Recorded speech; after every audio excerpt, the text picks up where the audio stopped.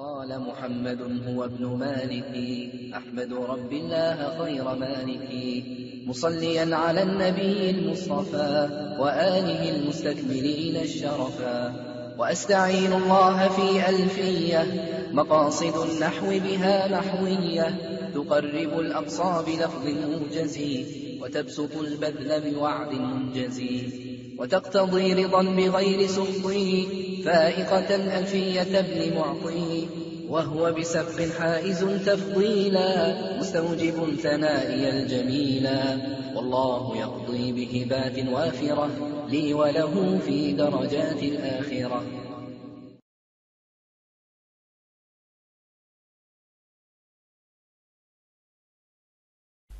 بسم الله الرحمن الرحيم الحمد لله رب العالمين والصلاة والسلام على سيدنا محمد خاتم النبيين وإمام المرسلين ورحمة الله العالمين صلى الله عليه وعلى آله وصحبه الطيبين الطاهرين. يا رب صل على النبي وآله عدد الخلائق حصرها لا يحسب. رب أوزعني أن أشكر نعمتك التي أنعمت علي وعلى والدي وأن أعمل صالحا ترضى. وأصلح لي في ذريتي إني تبت إليك وإني من المسلمين. وبعد فلا زال الحديث موصولا عن معاني حروف الجر. وصلنا عند قوله للانتهى حتى ولام وإلى ومن وباء يفهمان بدلا. وفي هذه الأبيات الشيخ رحمه الله يتحدث عن معاني حروف الجر. فيقول للانتهى حتى ولام وإلى. من حروف الجر حتى وهي جارة للمفرد الصريح وهذا معناه الدلالة على انتهاء الغاية ولهذا تسمى حتى الغائية. وهي لا تجر إلا الآخرة أو المتصل بالآخر. المتصل بالآخر كقوله تعالى سلام هي حتى مطلع الفجر. إن القلم يعزوز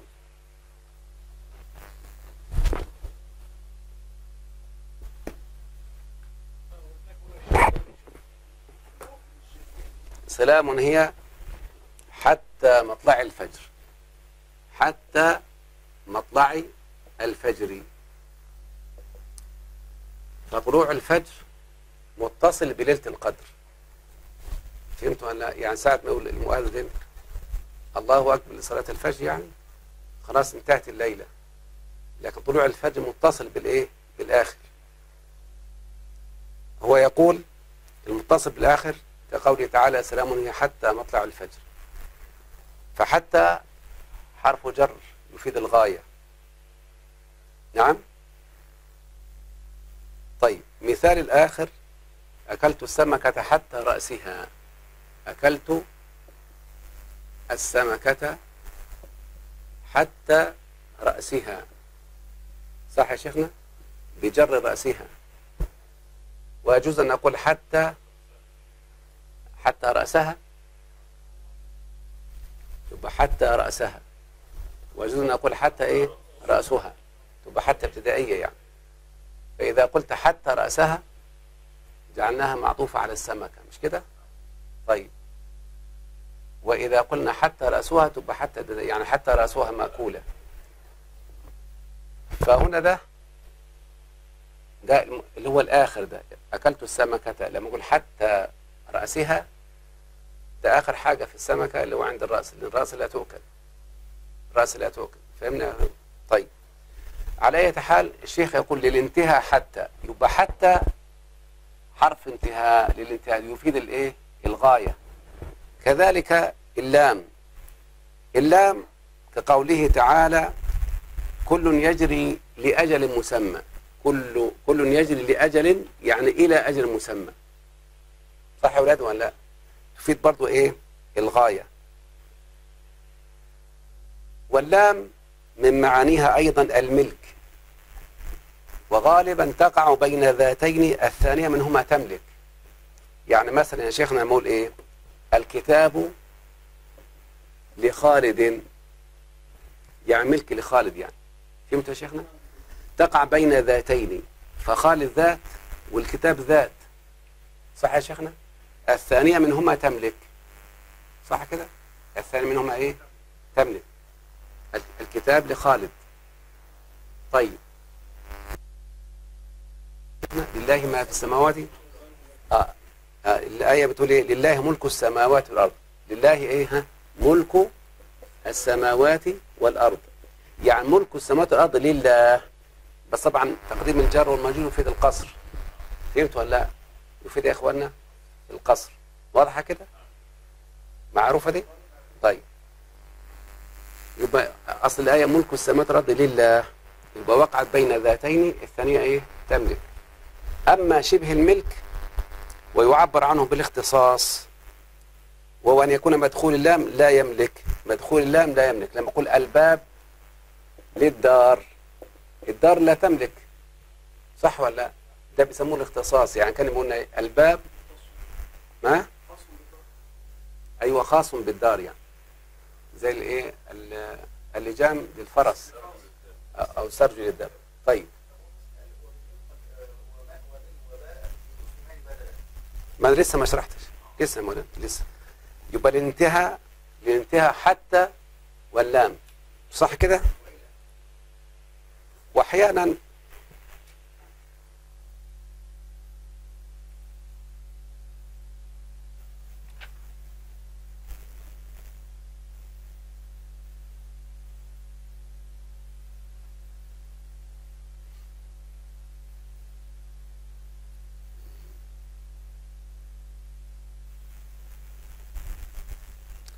إلى وده حرف جر أصلي. ومن أشهر معانيه انتهاء الغاية المكانية أو الزمنية.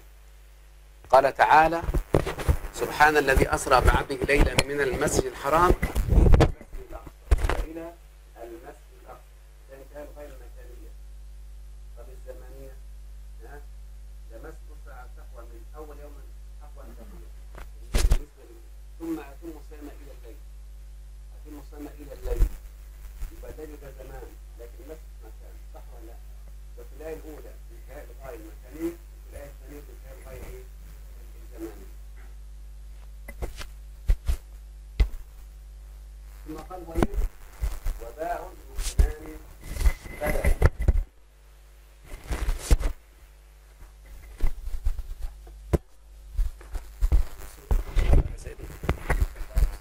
لا كمل يا سيدي كانت لي نزل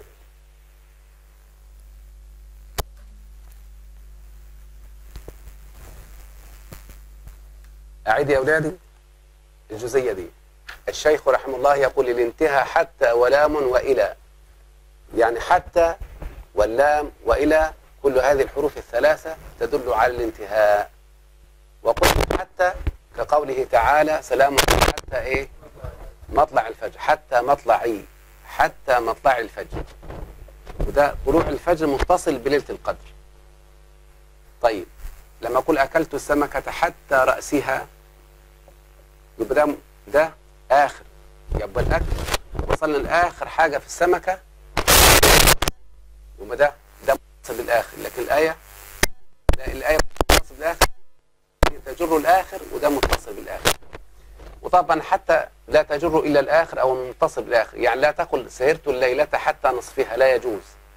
إحنا قلنا حتى الجارة لكي تكون جارة وتفيد الغاية لابد أن تكون متصلة بالآخر. كالآية أو تجر آخر شيء كهذا المثال الذي أتينا به. وقلنا اللام أيضا من معانيها تفيد الإيه؟ لا من معانيها كنا تفيد الغاية. يعني كل. آه وإيه كل يجري لأجل يعني إلى أجل مسمى. لكن قلنا من معانيها أيضا الملك. وكيف نعرف أنها الملك؟ تقع بين, بين ذاتين الثانية تملك. كقولنا مثلا الكتاب لخالد الكتاب لخالد. فخالد يملك الكتاب. وقد تقع, لشبه الملك المعبر عنه بالاختصاص كما قلنا الباب للدار.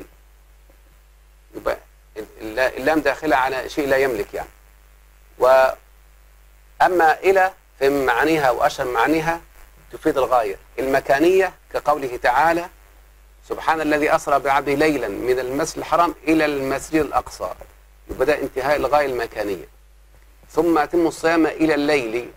يبقى الغاية الزمانية هننتقل بعد ذلك إلى من والباء. يقول ومن وباء يفهمان بدلا. يعني من تأتي ويكون معناها البدل. يكون معناها يا ولاد إيه؟ البدل. طيب. قال تعالى وبدلناهم بجنتيهم. جنتين ذواتي أكل خمط.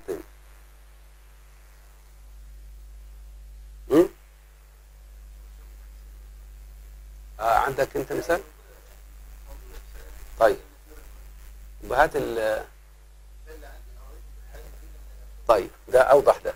أرضيتم أدي أرضيتم ها بالحياة الدنيا من الآخرة يعني إيه؟ بدل الآخرة. طيب حتى طيب والآية وبدلناهم بجنتيهم بجنتيهم يعني بدلناهم بدل جنتين. يبقى الباء هنا بمعنى بدل. هذا معنى كلام الشيخ ومن وباء يفهمان بدلا يعني تأتي بمعنى بدل يعني. خلاص يا شيخنا؟ طيب. نقتصر على إيه؟ على ما هو موجود في في الألفية.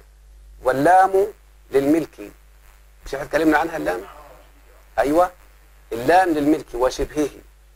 طبعا قلنا متى تكون اللام للملك؟ إذا وقعت بين ذاتين الثانية تملك. وإحنا جبنا المثال قلنا الكتاب لخالد أو الكتاب لزيد. طيب دي دي الملك. هات اللي بعدها. وشبهه شبه الملك اللي هو المعبر عنه بالاختصاص. يعني وقعت بين ذاتين الثاني الثاني لا يملك. إذا قلنا هي الباب للدار أيوه. وبعدين؟ وفي إيه؟ تعدية أيضا وتعليل قفي خدوا بالكم دي حكاية التعدية إلى المفعول. ما أحب طالب العلم للطباعة الجيدة من الكتب. عندك مثال عندك لل ها؟ جئت؟ جئت إيه؟ لإكرامك. مش كده؟ دي التعليل لا دي للتعليل إيه؟ التعدية هات التعدية.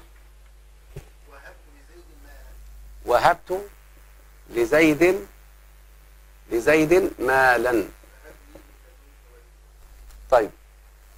وهبت لزيد مالا. وهبت لزيد.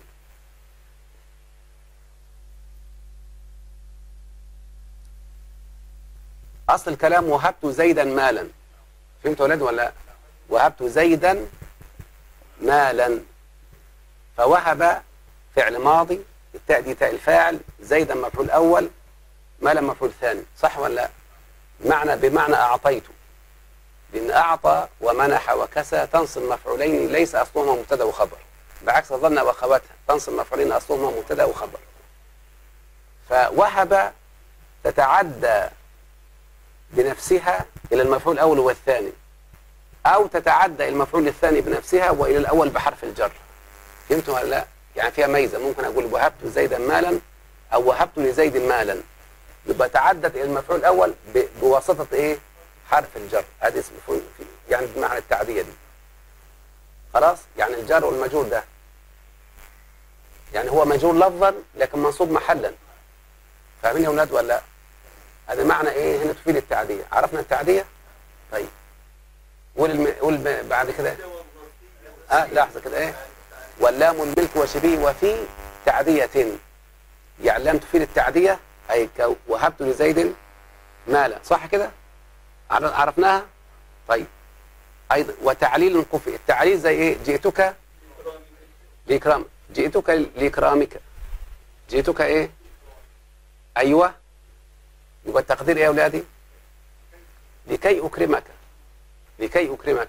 يعني جئتك لكي أكرمك. وهنا كي تفيد التعليل مش ها؟ معنى هي بمعنى كي. ما كي يفيد التعليل واللام أيضا تفيد التعليل مش كده؟ أصل الكلام إيه جئتك لأن أكرمك. صح يا شيخنا؟ يبقى التقدير إيه؟ يبقى أن مع الفعل مقابل مصدر اللي هو جئتك لإكرامك. أصل الكلام جئتك لأن أكرمك. اللام دي حرف جر وتعليل. وأن نصبت الفعل المضارع. منصوب بأن المضمره جوازا بعد إيه؟ بعد لام التعليل. أن مع الفعل بأول بمصدر المصدر ده مجرور باللام. يعني جئتك لإكرامك. طيب كمل اللي بعده يا شيخنا. وزيد زيد. اللام دي زائدة. زي إيه اللام الزائدة يا مولانا؟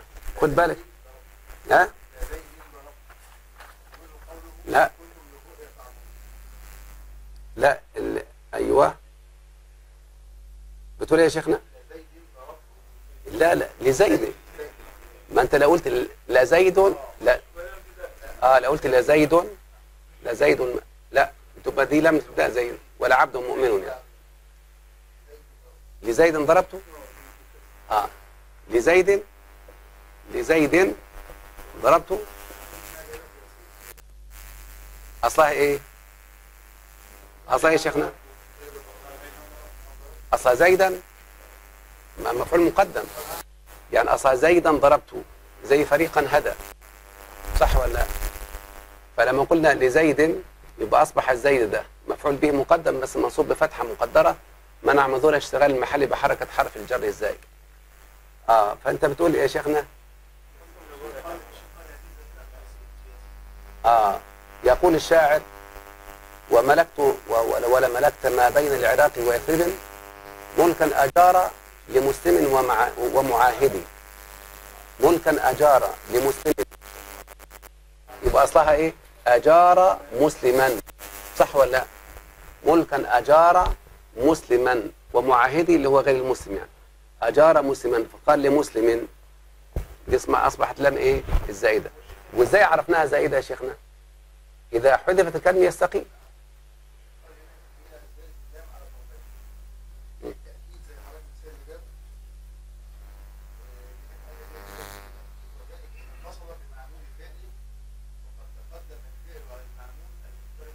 طيب على كل إحنا أتينا بالمثال وضحنا خلاص. يلا هات كده وزيدة والظرفية.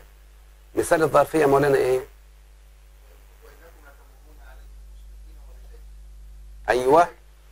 وإنكم لمثمرون عليهم مصبحين وبالليل معناها وفي الليل. يبقى الباء هنا بمعنى في هذا بمعنى في الظرفيه كمل يا شيخنا. أيوه. استبن. هو بيتكلم عن إيه دلوقتي يا شيخنا؟ عن الباء. عن الباء مش كده؟ طيب. طب الباء دي الظرفية ولقد نصركم الله ببدر يعني في بدر. مش كده ولا لا؟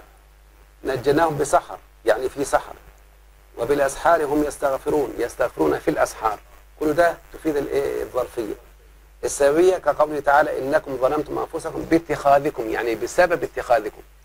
إنكم ظلمتم أنفسكم باتخاذكم يعني بسبب اتخاذكم العجل. أما الاستعانة آه قال استبن يعني إيه؟ ها؟ ما ما تخلينا بعيد عن فاء دلوقتي يا ولد خلينا في الألفية. إحنا ب... ب... بص يا مولانا انتبه الله يصلح حالنا وحالك اتكلم عن إيه؟ قال اللام للملك وشبهه وفيه يعني اللام تأتي للملك وشبه الملك وفي تعدية تأتي معدية يعني. أيضا وتعليل قفي. قفي بمعنى اتبع. خلاص؟ وزيد يعني تأتي زائدة. والظرفية والظرفية تستبن آه آه خلاص كده والظرفية استبن بباء يعني بالباء اللي هي حرف الجاء ال- تأتي للظرفية مش كده؟ آه تأتي للإيه؟ تأتي ها؟ أيوه نجيناكم بسحر أي نجيكم بسحر يعني في سحر مش كده؟ طيب استبن استبن إيه؟ بباء أيوه. اللي هي تأتي للاستعانه طيب قلنا تأتي للاستعانه نعم. أيوه استبن استبن. إنكم ظلمتم أنفسكم باتخاذكم. يبقى الباء هنا بمعنى سببيه ماشي؟ وفي وقد بيننا الايه السبب. آه في المقصود بها يا شيخنا؟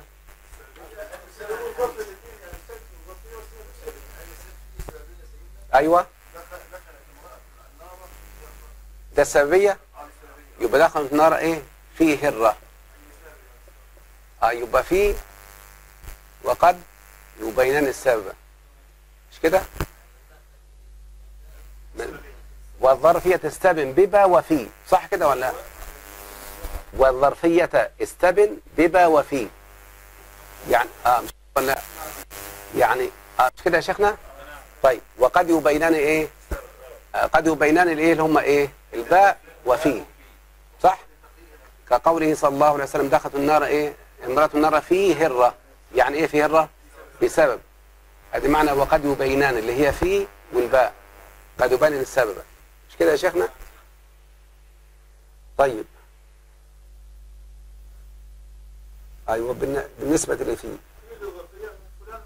اولا قال تعالى إن المتقين في جنات إن المتقين في جنات عيون اللهم اجعلنا منهم. يبقى كلمة إن المتقين في جنات تفيد الظرفية. مش كده ولا؟ لا؟ أيوه. والظرفية السبب بيبقى وفي. طيب. اللي إيه تاني في خلاص خلص البيت؟ الأحرف الخمسه دي أشار إليه بقول الانتهى حتى ولام إلى أي أن حتى واللام وإلى تدل على انتهاء الغاية زي ما إحنا قلنا. ثم ذكر أن اللام تفيد معنى الملك وشبه الملك وتأتي للتعدية والتعليل. ومعنى قوله وتعليل قفي قفي بمعنى نسب وعرف. نسب وعرف. ثم ذكر أن اللام تأتي زائدة فقال والظرفية تستبن. ها؟ نعم؟ آه ثم ذكر أن اللام تأتي زائدة خلاص. مش كده؟ ثم قال والظرفية تستبن ببا وفي. يعني اجعل الظرفية واضحة بالباء لأنها من معانيها. ومعاني في وقد يبينان السبب يعني يشترك يشتركان في معنى السببية اللي هي في والباء يعني. قول البيتين البيتين الثانيين يا أولاد يلا ها. نعم؟ اي أي تستعين وعد عود أنصفي ومثل مع ومن وعد أنصفي أيوه من معاني إيه دي الباء؟ طيب هات مثال عندك يا شيخ ها؟ طيب كتبت بالقلم يعني مستعينا بالقلم. يبقى الجار والمجرور متعلقان يعني. ها؟ أه؟ بكتبت. بس الباء هنا معانيها الاستعانة. يعني استعنت. استعنت في الكتابة بالقلم. أيوه. ذهبت بزيد. طب أصل الكلام ذهب زيد. أصل الكلام كده ذهب زيد. فلما قلت ذهبت بزيد أصبح الفعل ده متعدي إلى زيد بواسطة حرف الجر. لأن ذهب ده فعل لازم. معنى فعل لازم يعني ليس له مفعول. صح ولا لا؟ أقول ذهب زيد. فلما قلت ذهبت بزيد الباء دي اللي هي اللي هي تفيد إيه يا ولادي؟ التعدية. يعني عديت ذهبت إلى زيد بواسطة حرف الجر. ها؟ آه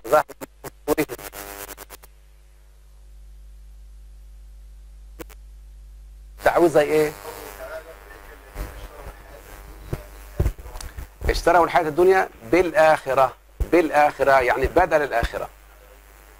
أيوة بدرهم يعني طيب اتفضل كمل. أيوة مررت بزيد. يعني التصق مروري بزيد. هذا معنى الالصاق يعني التصق مروري بزيد. ها ومثله إيه؟ معنى إيه؟ بعتك الثوب مثلا بطرازه أي مع طرازه ها؟ ومعنى من؟ شربنا؟ آه شربنا بماء البحر يعني شربنا من ماء البحر. وعن سأل سائل بعذاب آه سأل ذا بعذاب يعني سأل سأل سائل عن عذاب. آه يبقى البيت معناه بالباء استعن وعدي عوض ألصقي. ومثل مع ومن وعن بها انطقي. دي كلها من معاني الباء. على؟ ها؟ وتكون المصاحبة مثل إيه؟ آه وسبح بحمد ربك مصاحبا حمد ربك. طيب على للاستعلاء. قال تعالى وعليها وعلى الفلك تح- تحملون. يعني أشهر معاني على الاستعلاء صح كده؟ كم إيه عندك بعد؟ يبقى إيه؟ دخل المدينة على حين غفلة. دخل مدينة على حين غفلة. بمعنى دخل مدينة في حين غفلة. يبقى على وذلك حروف الجر ينوب بعضها بعض عن بعض يعني. يبقى دخل مدينة على حين بمعنى في حين غفلة. كمل. المجاوزة ها؟ تقول رميت السهم عن القوس. مش كده ولا؟ لا؟ عن القوس ولا على القوس آه. عن القوس مش هو بيقول لك؟ على الاستعلاء ومعنى في وعن بعن تجاوز وعن بعن تجاوز تجاوزا. يعني هنا على تأتي بمعنى كم؟ بتأتي بمعنى استعلاء وفي؟ ومعنى عن طيب هات مثال معنى عن. آه رميت السهم عن القوس لا. لا يا ولدي مش قلنا على الاستعلاء صح؟ ومعنى في. بس وعن؟ ها؟ جديد استعمال جديد.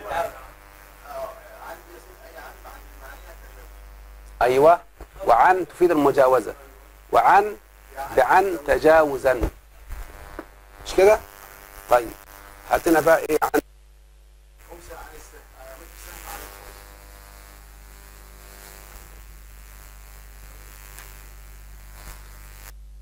شوف الشيخ هنا يقول عن وهو حرف جر اصلي له معاني منها المجاوزة وده أشهر معانيها.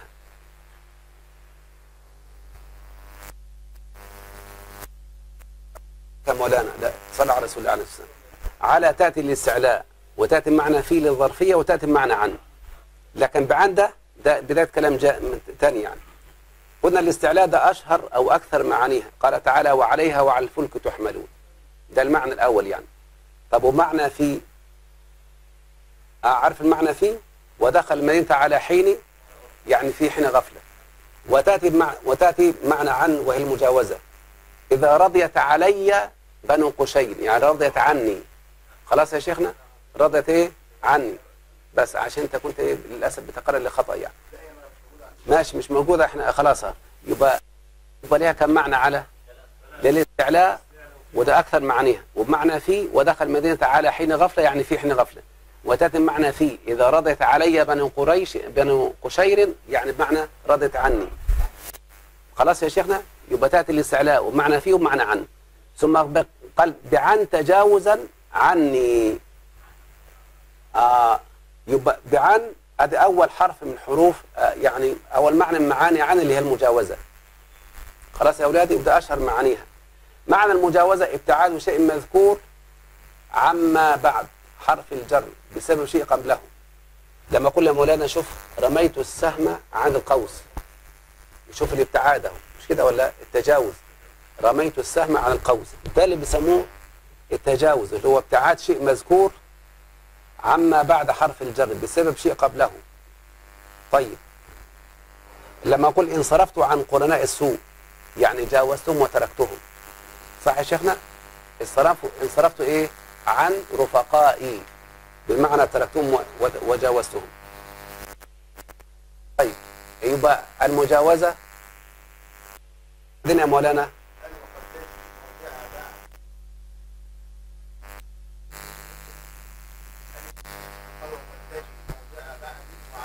آه ممكن تأتي بمعنى بعد. عما قليل عما قليل يعني بعد قليل. يبقى شوف. عما قليل عما قليل. خدوا بالكم ما اللي دخلت ما عما عما قليل. العلماء بيقولوا دي عن حرف جر زائد لأن دخلت بين الجر والمجرور أصلا عن قليل. صح يا شيخنا؟ دي ماء الزائدة. تزاد بين الجر والمجرور. عن قليل قال القرآن عما قليل. والزيادة هنا تفيد التوكيد. فهنا يا شيخنا بمعنى إيه؟ بعد قليل. يبقى عما قليل بمعنى بعد قليل. ماشي يا شيخنا؟ وعن. طيب. ها؟ تأتي بمعنى على زي إيه؟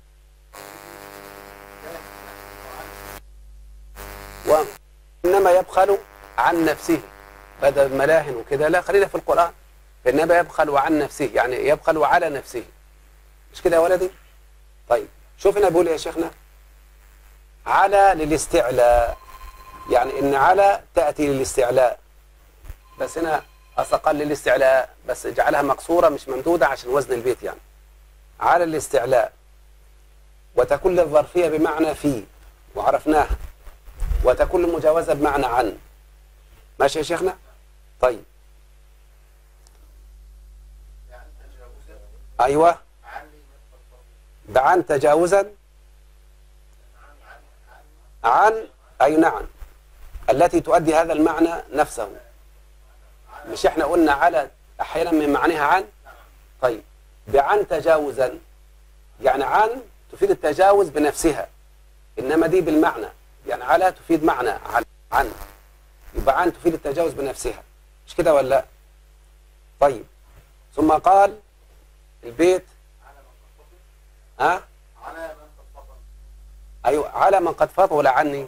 على. على على على آه على من قد فطن أي بالظبط كده. آه بمعنى إيه يا شيخنا؟ من فطن بمعنى إيه؟ يعني عرف وعقل يعني. قول الابيات دي طيب. ها؟ بيت تاني وقد إيه؟ كده أيوه قول وقد تجي موضع إيه؟ وقد تجي وقد تجي. موضع بعد وعلى. أيوه. كما على. كما على موضعها كما على إيه؟ موضع عن قد جعل.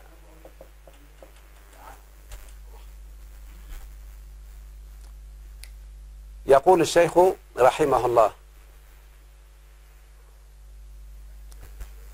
وقد تجي موضع بعد.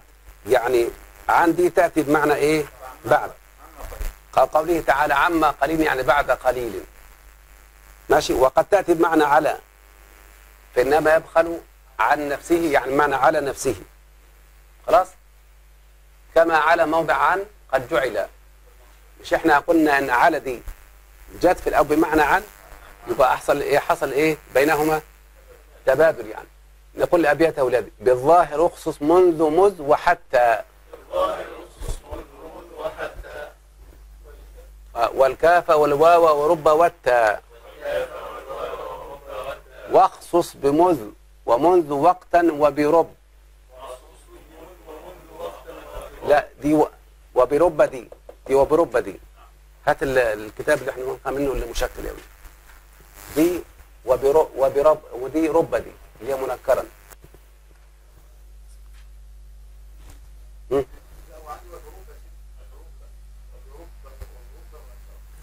طيب قول الابيات عشان الشيخ مش مشكل هنا بس.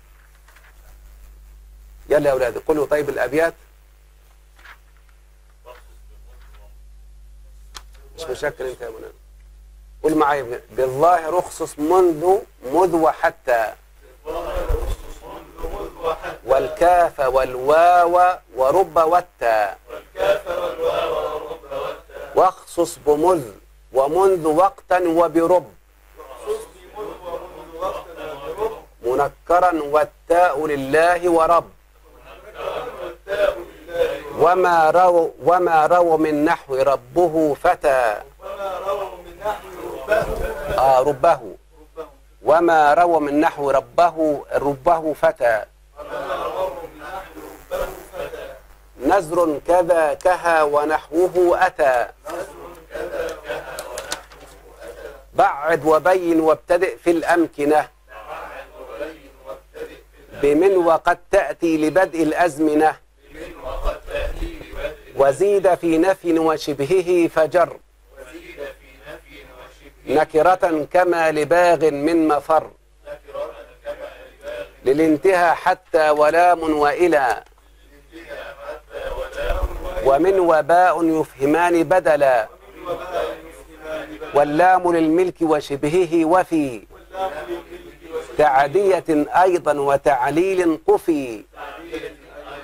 وزيد والظرفية تستبن ببا. وفي وقد يبينان السبب. بالبستع وعد عوض ألصقي. ومثل مع ومن وعن بها انطقي. على للاستعلى ومعنى في وعن على الاستعلاء ومعنى في وعن. بعن تجاوزا عنا من قد فطن من فطن تجاوزا على من قد فضل من فطن من فطن أيوة. وقد تجي موضع بعد وعلى. كما على موضع عن قد جعل. والله أعلى وأعلم صلى الله عليه وسلم محمد.